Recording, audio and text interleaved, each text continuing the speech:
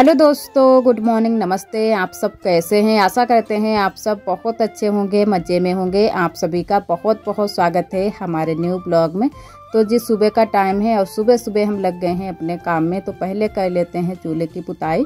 और यहाँ की साफ़ सफ़ाई मैंने कर दी है, पूरे में झाड़ू लगा दिया है और घर के भी हमारे सारे काम हो चुके हैं। तो बस चूल्हे की पुताई कर देते हैं, क्योंकि शाम के टाइम में यहीं पर खाना बनाते हैं। अब और अंदर की पुताई जो है ना कि दिन में ही कर देते हैं, जो अंदर चूल्हे हमारे रखे हुए हैं तो यहीं पर पुताई करनी है। तो बस कर देते हैं पुताई और एक हमारी दीदी जी ने कमेंट किया था कि आपका जो चूल्हा है, अंदर की साइड में तो बहुत ज़्यादा काला है, लेकिन जब आप पुताई करती हो तो एकदम से सफ़ेद कैसे हो जाता है। तो यही तो जो ये चिकनी मिट्टी होती है, इसका यही कमाल है कि चाहे कितना भी चूल्हा हमारा काला हो, चाहे ज़मीन कितनी भी काली हो टूटी हो, फूटी हो, चाहे कैसी भी ज़मीन हो, लेकिन जब भी हम मिट्टी लगा देते हैं जहाँ पर एकदम से जो हमारी ज़मीन है चिकनी हो जाती है और एकदम से साफ़ हो जाती है, सफ़ेद हो जाती है। तो पुताई करने से एकदम से जो काला काला चूल्हा होता है, एकदम से सफ़ेद हो जाता है सूखने पर। तो एकदम से हमारे चूल्हे की साफ़ सफ़ाई भी हो जाती है और इधर हम नीचे आ गए हैं। तो कल आटा आया था चक्की से उठकर तो आटा को मैंने कर दिया है टंकी में। और चावल तो मैंने पहले से ही कर दिए हैं, क्योंकि चावल भी आए हुए थे, लेकिन चावल मैंने कर दिए हैं टंकी में। एक टंकी में आटा रहता है और एक टंकी में रहते हैं चावल। और इधर उसके बाद में हम नहा चुके हैं और लग गए हैं खाना बनाने में तो चाय नाश्ता हो चुका है। उसके बाद में बस खाना बनाने में हम और हमारी नंदत जी लगे हुए हैं। तो सब्ज़ी हमारी बन गई है। सब्ज़ी मैंने कद्दू की सब्ज़ी बनाई थी और पराठे सेके हैं थोड़े से और सेकेंगे रोटियाँ। क्योंकि आरोही के पापा बोल रहे थे कि हमें तो पराठे खाने हैं। तो मैंने कहा, ठीक है, थोड़े से पराठे बना देंगे और थोड़ी सी हम रोटियाँ सेंक लेंगे। तो ननद जी हमारी रोटियाँ और पराठे पराठे बेलने में लगी हैं और हम सेकने में लगे हैं और आरोही भी अभी यहीं पर बैठी हुई हैं।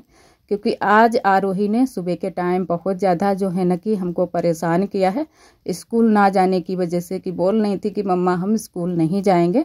लेकिन जैसे तैसे फिर मैंने आरोही को मना लिया था और तैयार कर दिया है आरोही को नहला धुलाकर। और यहाँ पर आरोही खाना खा रही हैं तो अब जाएँगी अपने पापा के साथ में और लगभग टाइम हो गया है। साढ़े आठ का टाइम हो गया है तो आरोही अभी भी स्कूल नहीं गई हैं तो अब जाएँगी आरोही के पापा लेकर जाएँगे आरोही को। तो यहाँ पर आरोही अभी खाना खा रही हैं और टिफ़न भी मैंने लगा दिया है आरोही के लिए, खाना उसमें लगा दिया है। और आरोही के पापा भी यहाँ पर खाना खा रहे हैं तो खा लेंगे लोग, फिर जाएँगे आरोही और आरोही के पापा। और तब तक जो है ना कि जो हमारे घर के काम होते हैं, वो सारे हम ख़त्म कर लेते हैं जल्दी जल्दी से। और अगर ये आरोही घर पर रुक जाती है, फिर तो हमें बहुत ज़्यादा परेशान करती हैं। तो आरोही की वजह से आज थोड़ी सी हमारी आरोही के पापा के साथ में भी कहा सुनी हो गई थी, क्योंकि जब भी जो है ना कि बच्चे अच्छे रोने लगते हैं तो जो आदमी लोग होते हैं, उनको बहुत ज़्यादा दिक्कत होने लगती है। तो आरोही भी सुबह के टाइम रोने लगी थी कि हम नहीं जाएँगे स्कूल। तो उसकी वजह से आरोही के पापा ने एक दो बातें हमें भी सुना दी थी कि तुम जो है ना कि आराम आराम उसको तैयार नहीं करती हो। तो हमें भी सुबह के टाइम थोड़ी सी जो है ना कि जल्दी रहती है काम की, क्योंकि हमारे काम भी साथ में हो जाए और साथ में जो है ना कि आरोही को भी तैयार कर दें, स्कूल भी भेज दें। तो इसी वजह से थोड़ी सी कहा सुनी हो गई थी आरोही के पापा के साथ में। और तो सभी लोग जो है ना कि खाना उना खा चुके हैं और खाना भी हमारा बन गया था जल्दी से ही। और इधर जो है ना कि रसोई की अब साफ़ सफ़ाई कर देते हैं।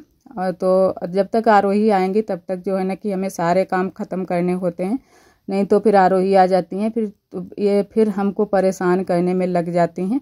कहीं तो कुछ बोलती हैं और नहीं तो अरब से ये लिपटती रहती हैं अरब को परेशान करती रहती हैं। तो उसकी वजह से जो है ना कि हम आरोही को दूर लेकर चले जाते हैं, कहीं तो पीछे वाले घर में या फिर जो है ना कि नए वाले रूम में। और आरब को बिल्कुल भी आरोही सोने नहीं देती हैं और आरब भी इन दिनों में थोड़े से परेशान रहते हैं सर्दी जुकाम की वजह से। और यहाँ की जो है ना कि रसोई की साफ़ सफ़ाई कर देते हैं, चूल्हे में जो राख है उसको कर देते हैं बरोसी में। और उसके बाद में हम करेंगे चूल्हे की पुताई। तो चूल्हे की पुताई हम दोपहरी के टाइम ही कर देते हैं। तो हमें सुबह के टाइम में यहाँ की पुताई नहीं करनी होती है। वैसे तो सुबह सुबह पुताई यहाँ की भी करनी हो जाती है। तो शाम के टाइम में बाहर ही खाना बनाते हैं। यहाँ पर थोड़ी सी ज़्यादा गर्मी हो जाती है तो बाहर की साइड में थोड़ा सा ठंडा मौसम लगता है तो बाहर साइड में ही चूल्हा जला लेते हैं और खाना बना लेते हैं। और इधर जो है ना कि हम आए थे यहाँ पर बगिया को गोबर लेने के लिए तो आज हम करेंगे थोड़ी सी घर में लिपाई। तो अब की बार जो है ना कि हमने घर में लिपाई की भी नहीं है। बहुत दिनों के बाद घर में लिपाई करने वाले हैं। तो वहाँ पर जो है ना कि हमारी नंदत जी अब की बार लिपाई कर रही हैं बराबर से। एक दिन मैंने की थी लिपाई। तो आज मैंने कहा कि हम कर देते हैं लिपाई। नंदत जी के लिए भी बहुत सारे काम हो जाते हैं और थोड़ी सी परेशान भी हैं हमारी नंदत जी। फिर भी जो है ना कि हमारे साथ में बराबर से ही काम कराती रहती हैं। तो यहाँ पर हम गोबर लेने के लिए आए हैं। गोबर ले लें, उसके बाद में चलते हैं घर। और एक चीज़ और हमारे यहाँ इन दिनों में चल रही है। तो यहाँ पर देखो, लगी हुई हैं। अभी भी ये कीड़ा लगे हुए हैं, जो कि भंगरी होती हैं हमारे यहाँ, खजूरे वाली भंगरी। तो अभी भी ये लगी हैं और पूरी बगिया में इन दिनों में उड़ उड़ कर ये जा रही हैं। और जितनी ही ठंड बढ़ेगी, उतने ही ये जल्दी मर जाएँगी। और अगर गर्मी या बारिश होगी तो ये जल्दी से नहीं मरेंगी। तो अब थोड़ी थोड़ी जो है ना कि सुबह के टाइम तो मौसम अच्छा रहता है थोड़ी सी ठंडी भी हो जाती है तो उसकी वजह से जो है ना कि थोड़े बहुत कीड़े ये मरने लगे हैं। तो जल्दी से ही ये ख़त्म हो जाएँगे और ठंड के दिनों में बिल्कुल भी कीड़े नहीं रहेंगे। बस गर्मियों में ही दो तीन मंथ रहते हैं उसके बाद में नहीं ये रहते हैं। और जो है ना कि एक बात आप सभी से हाँ पूछनी थी कि इन दिनों में एक चीज़ चल रही है आप सभी के यहाँ भी क्या चल रही है या नहीं? जैसे कि हमारे यहाँ चल रही है कि ये रीत बहुत तेज़ चल रही है कि जो है ना कि जो हमारी जैसे माँ है कि अपनी नाती और न, नाती को जैसे है ना कि पेड़ा और जो है ना कि एक बर्तन के साथ में कुछ खिलाती पिलाती हैं, या जलेबी या पेड़ा। तो हमारे यहाँ तो जैसे है ना कि पेड़ा और टिफ़न चल रहा है, जो कि बर्तन होता है टिफ़न टाइम में, उसके ऊपर से ढक्कन होता है। और बहुत से लोग जलेबियाँ भी खिलाते हैं। तो एक बार दूध जलेबियाँ चली थी, लेकिन इस बार पेड़ा और टिफ़न में रख कर खिलाए जाते हैं। तो जिसका जो है ना कि अकेला नाती होता है, एक लड़की का एक ही लड़का होता है, उसी को खिलाया जाता है। तो हमारे यहाँ ये चीज़ बहुत ज़्यादा चल रही है। तो आप सभी कमेंट में बताना कि आप सभी के यहाँ ये चीज़ चल रही है या नहीं। तो वैसे तो हमारे यहाँ तो जैसे है ना कि हमारी देवरानी जी के एक लड़का है तो हो सकता है आ सकती हैं आरब की नानी, लेकिन अभी तो पता नहीं है। लेकिन जो है ना कि हमारी दीदी के एक लड़का है तो उनकी यहाँ उनकी माँ जी आई हैं खिलाने के लिए। तो आरोही भी आज हमसे बोल रही थी कि मम्मा जो है ना कि मानवी दीदी की नानी आई हुई हैं। पेड़ा लेकर और टिफन लेकर। तो घर की न, अपनी नानी आएँगी या नहीं आएँगी कब आएँगी? तो मैंने कहा कि अभी नहीं आएँगी नानी क्योंकि ये बोला जाता है कि लड़कों को ही खिलाया जाता है लड़कियों के लिए रीत नहीं है। तो ये थोड़ा सा अच्छा नहीं लगता है लेकिन पता नहीं क्यों कि जैसे है ना कि लड़कों के लिए ही रीत चलाई गई है, लड़कियों के लिए नहीं। वैसे ज़्यादातर तो हमारे यहाँ ये सारी चीज़ें नहीं मानी जाती हैं, लेकिन जो लोग मानते हैं वो लोग खिलाते हैं। और हमारे यहाँ भी कई लोग आए हैं खिलाने के लिए, अपने नाती लोगों को तो खिलाकर कई लोग चले भी गए हैं। और जो हमारी दीदी जी की माँ आई हैं, वो यहीं पर अभी हैं, खिलाने के लिए कल ही आई हैं। और इधर उसके बाद में हम करने लगे हैं लिपाई। तो बाहर की जो है ना कि वहाँ मशीन के पास में थोड़ी सी जगह बचती है। वहाँ पर लिपाई मैंने कर दी है। अब यहाँ की लिपाई कर देते हैं और गोबर में गेरू नहीं मिलाया है। और गोबर भी इतना ज़्यादा अच्छा नहीं है क्योंकि गोबर थोड़ा सा मोटा मोटा है। और जो नए जानवर होते हैं, उनका जो गोबर होता है, एकदम से चिकना चिकना गोबर होता है, लेकिन ये थोड़ा सा मोटा वाला गोबर है। तो गेरू इसी वजह से नहीं मिलाया है क्योंकि अच्छे से लिपाई नहीं बन रही थी। तो मैंने कहा, ऐसे ही लिपाई कर देते हैं। और पुताई भी नहीं हुई है मिट्टी से, वैसे पुताई हो जाती तो थोड़ी सी और भी अच्छे से लिपाई हो जाती तो इसी ऐसे ही जुकिया वाली लिपाई कर देंगे पूरे में तो साफ़ सफ़ाई हो जाएगी। और वैसे भी लिपाई तो जल्दी जल्दी होती रहती है, घर में भी होती रहती है, वहाँ पीछे वाले घर में भी। और अब तो और भी जल्दी जल्दी होगी, क्योंकि अब तो बारिश तो वैसे रोज़ ही होती है, लेकिन अब इतनी तेज़ बारिश नहीं होती है कि ज़्यादा तेज़ बारिश हो, लिपाई पाई ना हो पाए। तो अब तो साफ़ सफ़ाई के काम भी शुरू हो जाएँगे। वैसे तो हम एक बार साफ़ सफ़ाई कर चुके हैं पीछे वाले घर की, जो कच्ची वाली फर्श थी। उसकी एक बार लिपाई पुताई कर चुके हैं, जो कि मिट्टी से। लेकिन इस बार, अब की बार जो है ना कि अच्छे से धूप निकल आएगी। जब पता चल जाएगा कि अब बारिश नहीं होगी, तभी हम करेंगे, क्योंकि एक बार की जो लिपाई थी, वो थोड़ी बहुत हमारी ख़राब हो चुकी है। वैसे थोड़ी बहुत तो अच्छी है, लेकिन फिर भी ख़राब हो गई है तो दोबारा से अब करनी पड़ेगी। और यहाँ पर थोड़ी सी ही जगह है बरामदे में, जैसे कि आप सभी को पता है तो उतने में ही लिपाई करनी है। और जल्दी से लिपाई भी हो गई थी, क्योंकि सिंपल सी लिपाई कर रहे हैं एकदम से। जो ये झुकिया वाली लिपाई है, बहुत जल्दी से हो भी जाती है और सिंपल सी बिल्कुल लिपाई होती है। और इधर फिर हम चल रहे हैं पीछे वाले घर में तो कपड़े देख लेते हैं, सूख गए या, गए हैं या नहीं।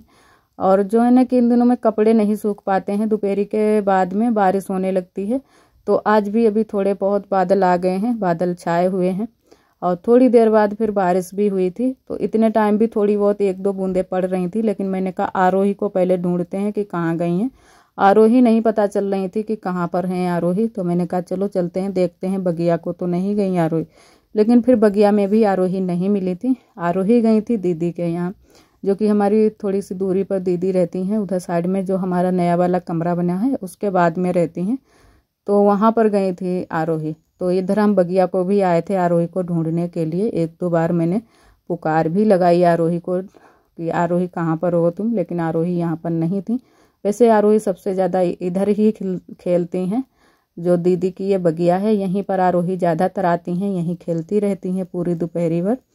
लेकिन यहाँ पर आज नहीं आई थी। फिर हम चले गए थे घर उसके बाद में और बादल आ गए हैं। आप सभी को दिखाते हैं। बादल बहुत तेज़ आए हुए हैं इधर साइड से। और उसके बाद में थोड़ी बहुत फिर बारिश हुई थी, लेकिन ज़्यादा बारिश नहीं होती है, बस थोड़ी सी ही बूंदाबांदी होती है। और इधर हमारे घुइयाँ के पत्ते भी तैयार हो गए हैं। अब की बार मैंने घुइयाँ के पत्ते भी नहीं तोड़े हैं। और बनाने का मन तो होता है, लेकिन नहीं बना पाए हैं तो और थोड़े से पत्ते हो जाएँ, उसके बाद में ही बनाएँगे। दो चार जो है ना कि हमारे पोने बन जाएँ तो अच्छा रहेगा तो सभी लोगों के लिए हो जाएगा और थोड़े से ही बनते हैं।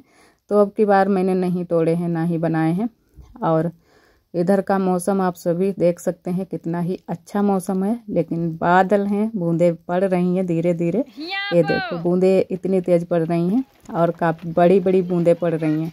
और तब तक आरोही भी आ गई है। तो आरोही जो है ना कि बारिश थोड़ी बहुत होने लगती है तो बहुत ज़्यादा मस्ती करती करती हैं। आप सभी देख ही सकते हैं और डांस भी कर रही हैं। मज़ा आए रहे? तो आरोही बहुत ज़्यादा मस्ती करने में लगी हुई हैं जो कि बच्चे ज़्यादातर जो है ना कि छैया मिल्ली करने लगते हैं तो वही कर रही हैं आरोही।